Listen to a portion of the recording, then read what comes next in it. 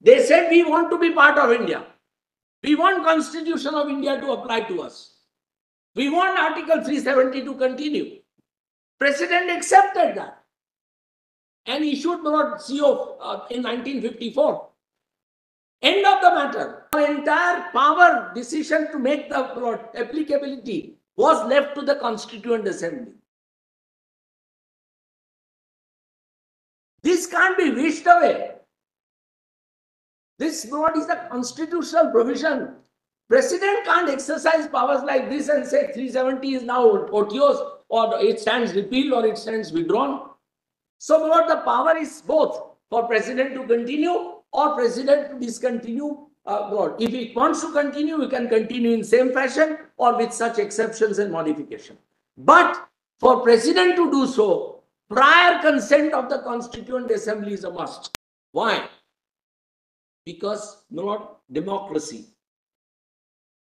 You could only do it if Constituent Assembly approved it. It was a temporary provision. So the new Constituent Assembly is being now convened and soon it may mean in the meanwhile, well, President may exercise powers in consultation with the state government under 1B or well, 1C or 1D. They said, yes, they can. But you place them before Constituent Assembly for a post facto approval. So what it was never intended to be permanent. It is a temporary provision. And brought the entire burden or entire onus or entire responsibility or entire power decision to make the applicability was left to the Constituent Assembly. This can't be wished away.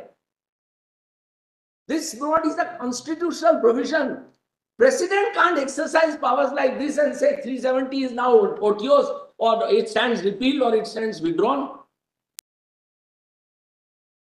Now, in that context, please see Article 3, Lord, sub-article 3.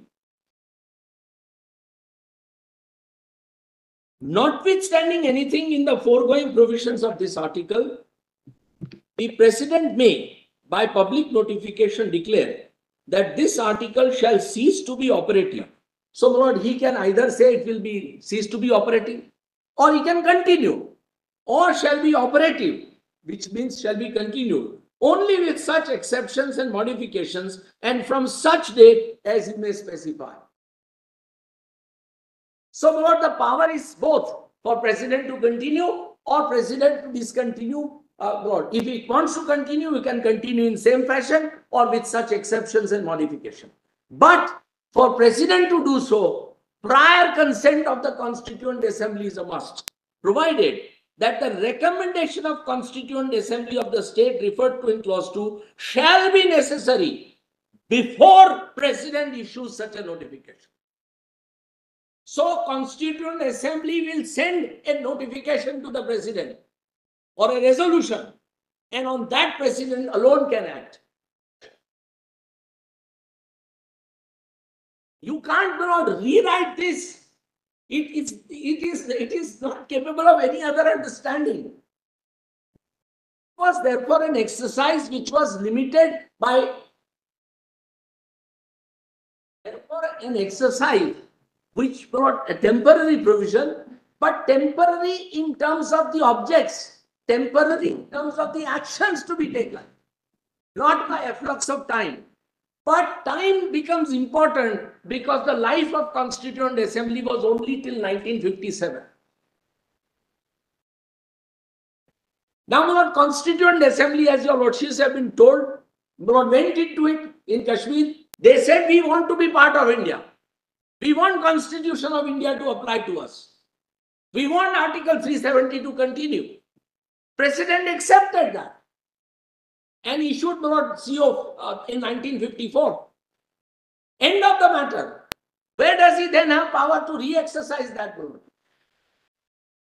It will be travesty of justice if not it is now today contended by government of India responsibly before this court that no, it has happened. But now governor can send in and we can act on it. Lord, that will be, Lord, uh, virtually, Lord, destroying this very express provision. And I respectfully submit that, Lord, it is impossible to, Lord, e- accede to that interpretation. Hmm. It was a one-time exercise. It was not, not intended to be exercised again and again. Even Constituent Assembly was not given power to do it again and again. Supposing they passed a resolution later saying now we don't want to get out of India and 370 should not apply to us. Was it pos- uh, permissible? In my respectful submission, no. So your lordships will have to look at it either way. That's why the word temporary is very meaningful as the heading of the article. So I respectfully submit that this uh, uh, article, Lord, has lived its life, has achieved its purpose. Now, Lord, 371 survives because tomorrow constitution is amended. And new article is inserted, which we would like to apply to uh, Jammu and Kashmir also. President then sends, uh, uh, the government's view and then extends the article. So to that limited extent, perhaps this article 371 may be necessary. But 373 is very clear that applicability of constitution of India per se was only in terms of article 373.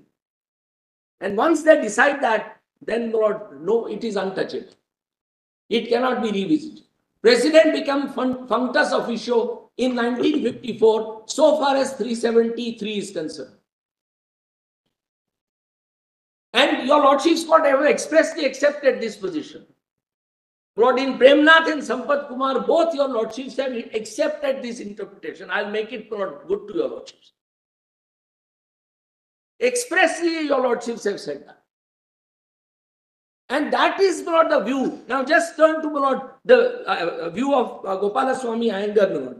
As your lordships would recall, Lord Gopala Swami Iyengar was Lord the Diwan or Prime Minister of Jammu and Kashmir for Lord many years. Lord, he was uh, later defense minister in post-independent India and one of the most respected Lord Indians uh, at that point of time. Lord, he was heading this. Now just see his Lord uh, page, PDF page.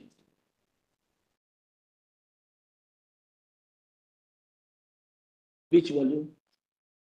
Volume 8, PDF page 1175.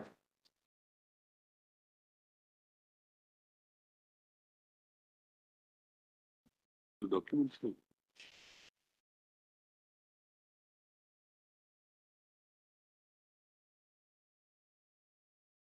The document file? Document file. Ah.